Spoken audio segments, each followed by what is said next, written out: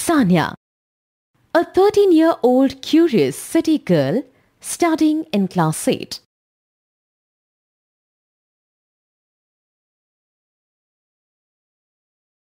Mummy, Sanya's mother, who facilitates them in understanding different concepts.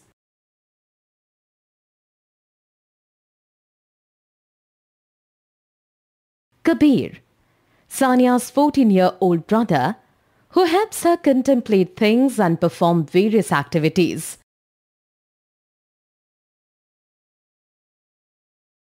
Thank you for taking us to this light installation. We had a lesson last year in the school and this year we are learning some more about light. Quickly do freshen up, then we can all have our dinner. Mummy, I can't seem to find my towel. Could you please help? I think it must be drying in the terrace. Oh, I remember. I had put it up on the wire in the terrace to dry. Go get it. Sure.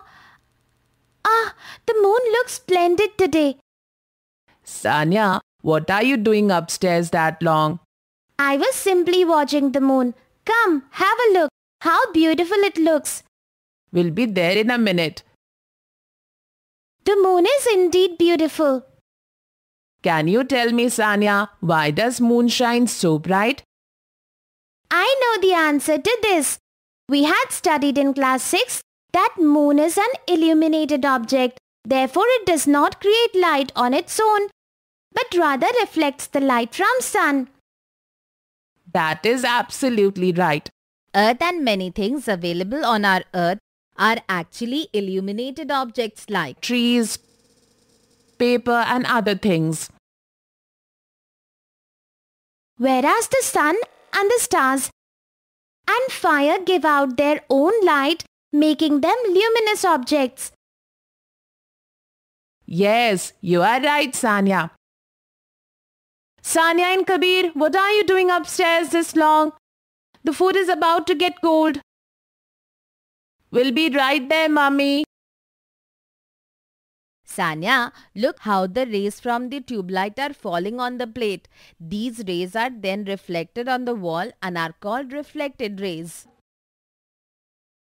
Friends, we had learned about this in the last class. Do you remember?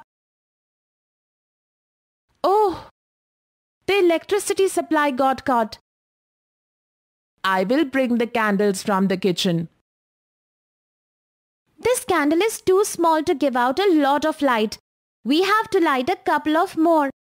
Mummy, I have an idea. Can Kabir and I create a light installation in our home?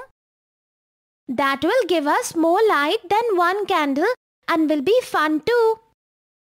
Okay. Try it out and see if it works. This isn't working as I had thought. What am I doing wrong? Would you like some help? Yes, please, do tell.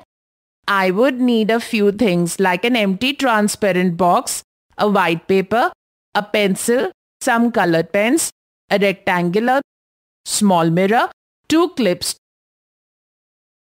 a scale, protractor, an adhesive tape, laser light torch, water and Dettol.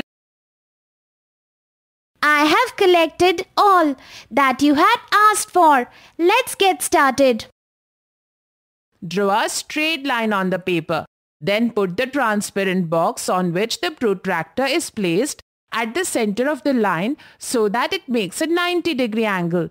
Now we will keep the rectangular mirror upright with the help of clips at the baseline of the protractor. Put some water and Dettol solution in the transparent box. Sure, I will add them in. Now throw the laser light at an angle and tell me what you see. This is beautiful. I can clearly see the reflected light of the laser beam. Now look in the dark and you will see clearly and measure both the angle of incidence and the angle of reflection with the angle of 90 degree made by the middle line. Oh wow, these two are exactly equal. Both are making angles of 50 degrees each. Yes, absolutely correct. Friends, you should also try this. Experiment with the help of an elder person and make different angles with the incident light. Measure the angle of incidence and the angle of reflection and see for yourself. What if we use a torch instead of the candle? That will give a direct ray of light on the mirror. Yes, let us try that out. Now the light from the torch is absolutely perfect. Sanya, let us place another mirror on the path of reflected light. Okay. Aha! It is reflecting the reflected light. Yes, and we could keep doing this to create our own installation. Right. By placing the mirror in a zigzag position, we can keep reflecting the light from the torch. This is really fun. Electricity is back. I will get back to work and you can wrap your installation. Kabir, even though the electricity is back, can we do some more activities mentioned in the book? Yes, let us do that. You know, Kabir, I find the light to be an amazing thing. It travels so fast and all of us see things only because there is light.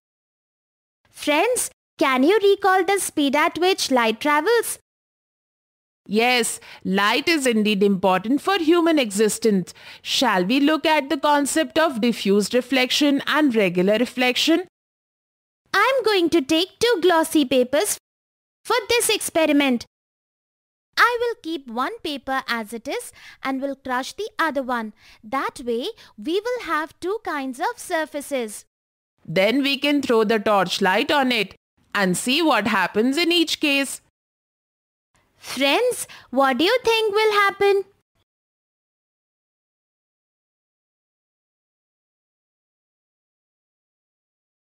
Let us see. In the first case, when we put the torchlight on the plane surface, the paper gives out a sharp ray of light as a reflection.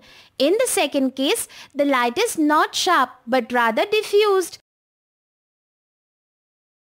What we learned in this chapter, light makes it possible for humans to see the objects in the world.